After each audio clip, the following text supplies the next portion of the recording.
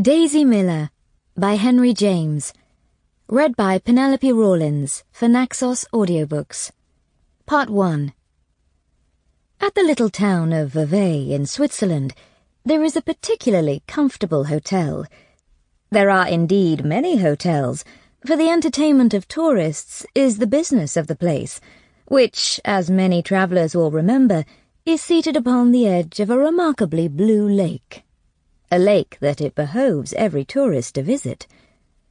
The shore of the lake presents an unbroken array of establishments of this order of every category, from the grand hotel of the newest fashion, with a chalk white front, a hundred balconies, and a dozen flags flying from its roof, to the little Swiss pension of an elder day, with its name inscribed in German-looking lettering.